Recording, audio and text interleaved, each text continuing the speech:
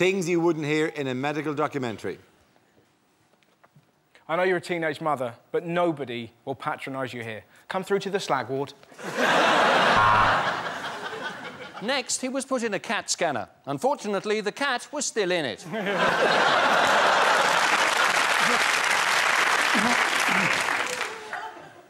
And so Nick Griffin comes round after the face transplant, and that's not the colour he was expecting.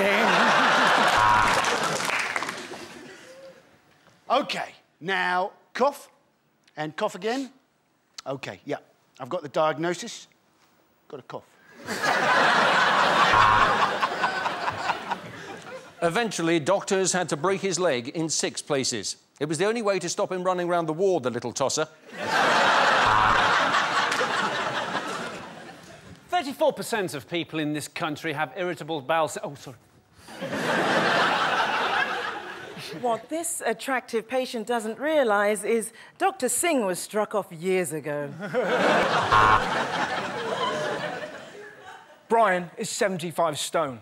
He hasn't left the house for three years. What a fat bastard. After months of tests, doctors finally discovered what had caused his blindness. He'd been masturbating too much. Today we're attempting a slightly difficult operation. What we're hoping to do is remove the Adam's apple with a pair of tweezers without the patient's nose flashing red.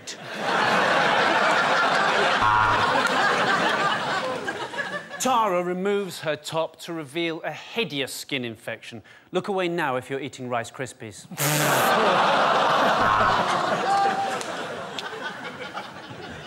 the Siamese twins were joined in the most embarrassing place imaginable and known by friends as the skipping rope.